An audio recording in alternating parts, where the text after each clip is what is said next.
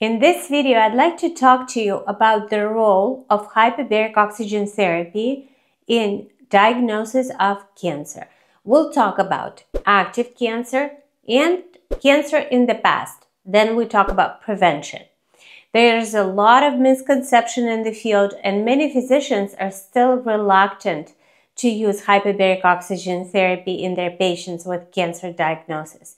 In this video, you'll understand why is that and how we can apply HBOT safely and effectively for somebody who's had a diagnosis or who has a diagnosis of cancer. There are a lot of misconceptions and as community, as medical community, up until 2012, we thought that cancer was a contraindication for hyperbaric oxygen therapy. We thought that oxygen actually stimulated growth of cancer cells. Therefore, people who had cancer were always told that hyperbaric oxygen therapy was contraindicated and they could not pursue the treatment. Yet in 2012, several scientific studies came out that proved that cancer cells behave very differently from normal cells in oxygen-rich environment. These studies were replicated many times and now in 2025, we're absolutely sure that hyperbaric oxygen therapy can be beneficial for someone who has cancer diagnosis. There are several ways that we can apply HBOT in situations like that. And let's go over every situation and see how to apply hyperbaric therapy safely and effectively in cancer diagnosis. First and foremost, Hyperbaric oxygen therapy can be used for someone who's had a radiation injury.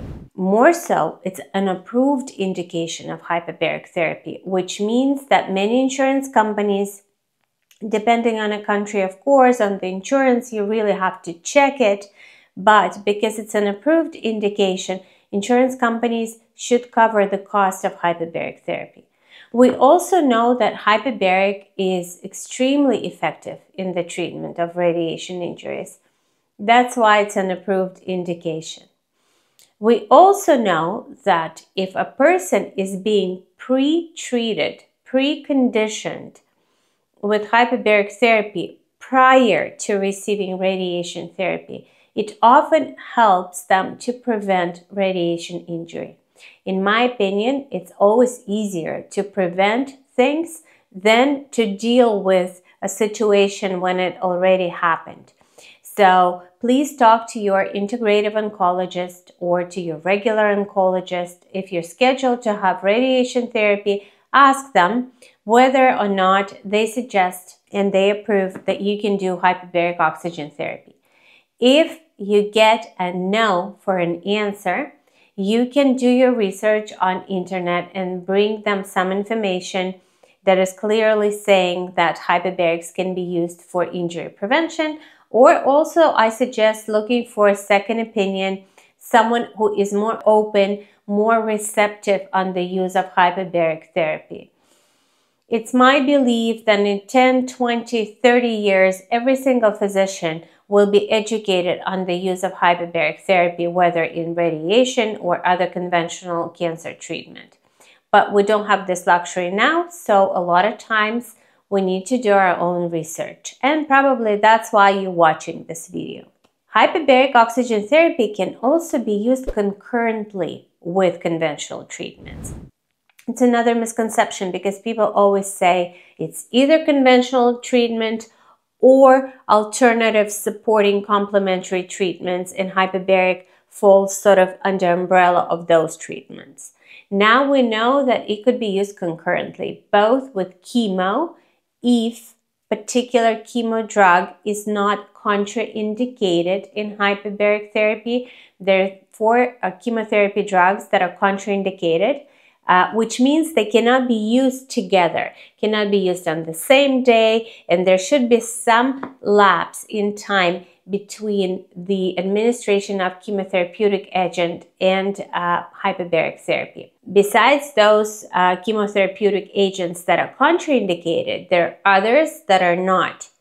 And hyperbaric therapy will potentiate the effects of uh, chemotherapy, but it will also make cells less resistant to chemo or more receptive of chemo. I should make a disclaimer and I should say it and I will repeat it several times in this video because in my opinion it is very important. Please, please, please let your oncologist know what you're doing. Let them know that you're also receiving hyperbaric oxygen therapy if you decide to do so. Because your oncologist on their end might decide to adjust treatment dose for your chemo. Um, they need to know everything else that you're doing beside conventional treatment. And I know, trust me, I know that sometimes it's difficult because not every single doctor out there is receptive to the idea. But at the same time, if we keep educating those physicians, a situation when every doctor is educated will happen a lot faster. Hyperbaric oxygen therapy can also be used as a supportive therapy during chemo um, or other conventional treatment. It will help a person deal with side effects of chemotherapy, make them stronger, make them more resilient, and definitely, it's a great addition to many therapies that can be used together with chemo. And prevention. Prevention is very important because prevention is the best cure. We need to do steps, all of us, every human being, to prevent diseases from happening. And this includes healthy lifestyle, but also many regenerative therapies that regenerate, rejuvenate our cells and make us healthier. And hyperbaric is one of those therapies. It is definitely recommended to someone who has had cancer in the past. Uh, they're in remission. They don't have any active cancer, but they're constantly doing things to improve their health to make sure that this cancer doesn't return. Uh, hyperbaric can be uh, an absolute marvelous addition to those therapies because it is known to optimize mitochondrial health. It is known to optimize immune function and just make the body stronger, more resilient, and healthier on a cellular level. Every single cell needs that oxygen that we're sending there with help of hyperbaric therapy. Now let's look at myths and misconceptions. We talked about one of them that HBOT cannot be used together with conventional treatment. It's absolutely not true. It can be used together. Please let your oncologist know that you're also doing hyperbaric therapy in addition to conventional treatments that you might be doing. And as I said, it will help prevent radiation injury. It will make chemo radiation more effective, your body less resistant to conventional therapy, but also support and provide much needed relief from side effects. Our next myth is that a person needs to be in ketosis or they need to be fasted when they do hyperbaric therapy if they have cancer. I should say the myth is that they must be in ketosis. It's not like that. Anybody can benefit from hyperbaric therapy, whether they're in ketosis, whether they're fasted, or not. However, when you combine fasting, ketosis, and hyperbaric therapy, it has the synergistic effect. It potentiates the effect of every therapy involved. So ketosis in combination with hyperbarics, not only in cancer diagnosis, in absolutely any situation, will drastically improve metabolic health, will improve mitochondrial health a lot more than if we were to do these therapies separately, just ketosis or just um, hyperbaric oxygen therapy. There is also a myth that every single chemotherapeutic agent is contraindicated. In hyperbaric therapy, it's not. There is a list of the drugs that are contraindicated. An oncologist or a hyperbaric expert would know the half life of that drug.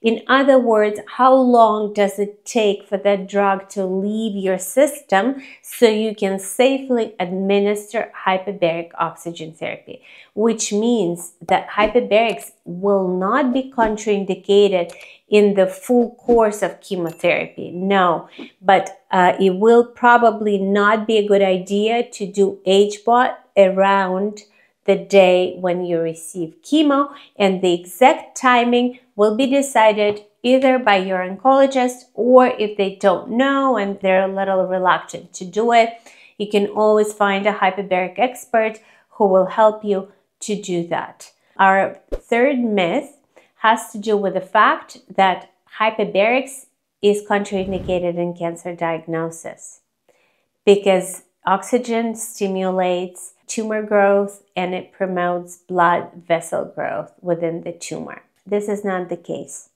We thought so before 2012, but now we learned that tumor cells in oxygen environment will not behave like normal cells. In fact, every tumor is hypoxic. It's a, if it's a solid tumor, it's hypoxic meaning that it doesn't have enough oxygen inside that tumor. And tumor cells, they adapt to live in that hypoxic environment. They develop different strategies that will help them replicate and grow specifically in the hypoxic environment. When we change that hypoxic environment to oxygen rich environment, those cells don't have the strategies to grow and replicate. Therefore, this oxygen-rich environment is detrimental to cancer. It's not promoting cancer. It's important to understand it. It's a lot of information, and I understand that it can feel overwhelming, and you don't have to do it on your own, even though I know sometimes it feel like it, that you have to do your own research and come up with all those studies and information but there are people out there who are knowledgeable. More and more oncologists are incorporating hyperbaric therapy into the list of the therapies that they offer or the list of the therapies that they oversee. Hyperbarics can be safely integrated with not only conventional treatments, but also uh, with alternative complementary supportive treatments. And there are experts out there who know how to do it and who will help you in your journey. I want to wish everybody well. I hope that you liked this information and that you found this information helpful. If you know someone who has cancer diagnosis and who is considering hyperbaric therapy, please share this video with them. They will find it helpful as well. And as I always ask you, please leave your comments uh, in the comments section. I do my best to answer all your questions.